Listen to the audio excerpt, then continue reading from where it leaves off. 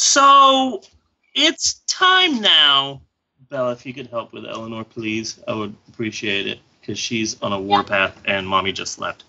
It's time for a brand new ish installment of the Pope on film. Or a better way to put it would be it's an installment we've unofficially done a number of times on the show that we've now given an official name to. Yes, it's time once again for the premiere installment of Bunny and Steve's social media shoutouts. Yes. Shoutouts. A great idea. A great idea you came up with. Shut it. Oh, I'm sorry. What was that, Bunny? A great idea you came up with.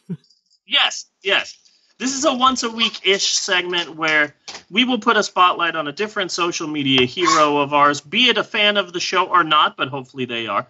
Um, Bunny, do you have someone that you would like to put a spotlight on this week on the Pope on Film podcast here? Yes. Go I, ahead. I, am going to come Go. out with with my my most daring. I think. Okay. Um. Um. I- I think for this we should probably only like use first names. Okay. So so, I'm putting the spotlight on Adam. Now, if Adam listens to it to this, Adam will know it's him because there's really only one Adam. Okay. Yeah. Um, but Adam always tells me that he appreciates honesty. And I do kind of like the guy, but he's fucking insane. Yeah. He's wonderfully insane. He he is the kind of insane like I don't want to get too close to this person because they're probably dangerous on Yeah. some level, you know? Yeah. But but it's it's hard for me not to appreciate a crazy person. Understood. Understood. Okay. Yeah. Um Adam is a big fan of diapers. Uh, Okay. He has some kind of medical condition. Okay. So he has to wear adult diapers. Okay. And he says that he he does not have a diaper fetish. But he keeps posting pictures of girls in diapers on his Facebook like all the fucking time. Okay. Okay. Sure. Sure. Um, Adam, when he dies, and he goes through periods where he wants to die, uh, he wants to be buried in a landfill. He just wants to be put in a landfill, Okay. and he has been he has been fighting a legal battle for quite a while for this. Uh, at Huh. this point, at this point, he is legally classified as medical waste in Yeah. this fight. He had himself legally declared medical waste Yeah, like you do. Like because you do. can put medical waste in a landfill. Yeah. Nice. That's a good workaround. So he's a fun. So he's a fun guy to kind of keep an eye on and keep track of. Um, that I don't want to get too close to. Understood. You know, Understood. like like like I am comfortable at the Facebook friend limit. yeah. You know. Yeah. I'm not Yeah. at the let's meet for coffee level. You know. Yeah. Absolutely. So don't take that don't take that the wrong way, Adam. I I, I do like you. I honestly do. Yeah. But my life is crazy enough. So that's Good. my that's my shout out shout out to Adam. Okay.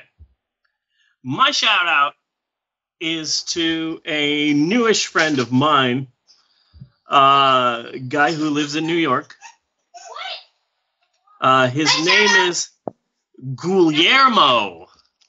Already, that's a great name. That is a great name.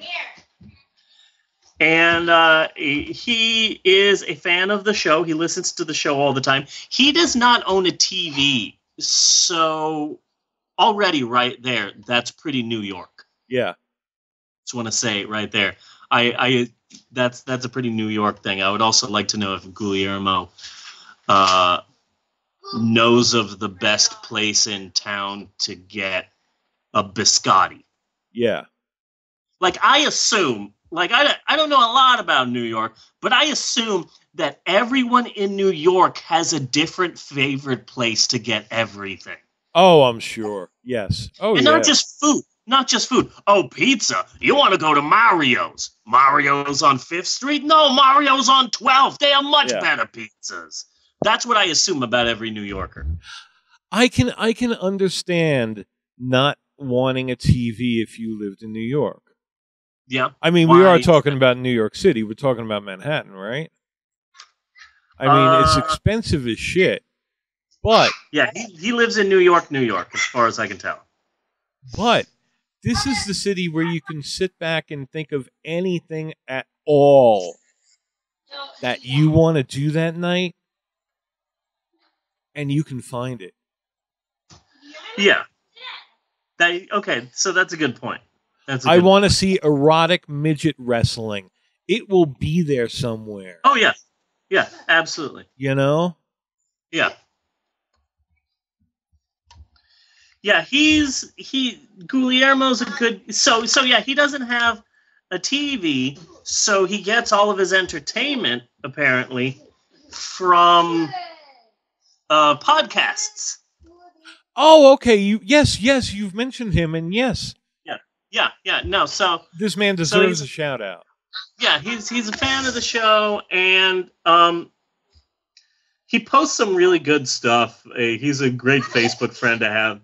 He posted uh, uh, one or two tributes to uh, Bobby the Brain Heenan, hmm who just recently died, Yeah. and I, God damn it, I love that man. He recently posted the opening credits to In Search of with Leonard Nimoy.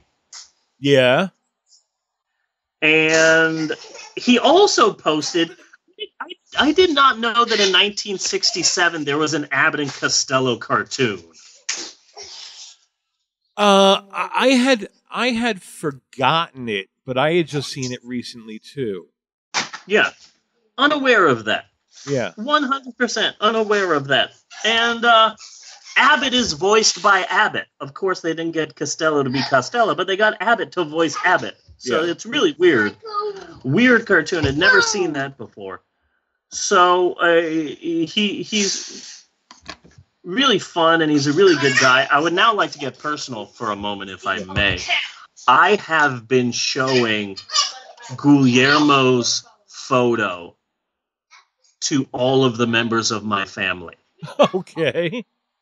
Shown it to Amber, I've shown it to Emerald, I've shown it to Bela, I've shown it to uh, Natasha. I don't think I've showed it to Maxwell. Eleanor, I think, has actually seen it. Yeah. But I, I, I, I fully believe that Guillermo comes from an alternate reality in which I had a baby with Lin Manuel Miranda.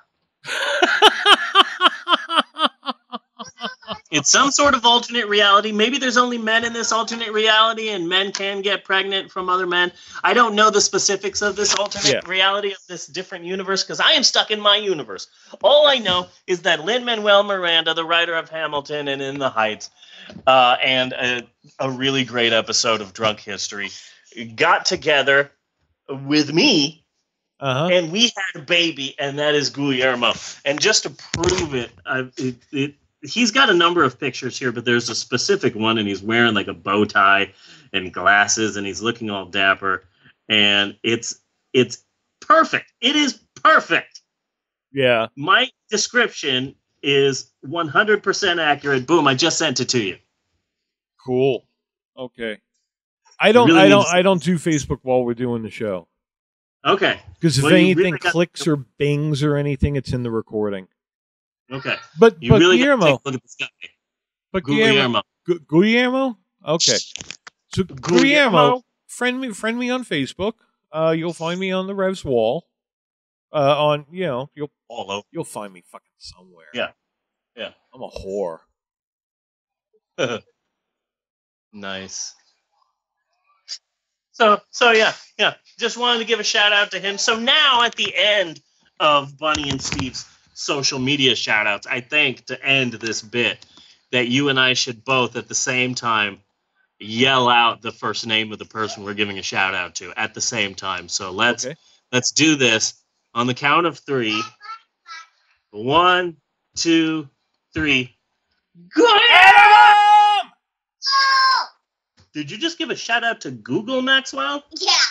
Okay, Google doesn't need any shout outs. No. Google knows what you're doing right now. Yeah.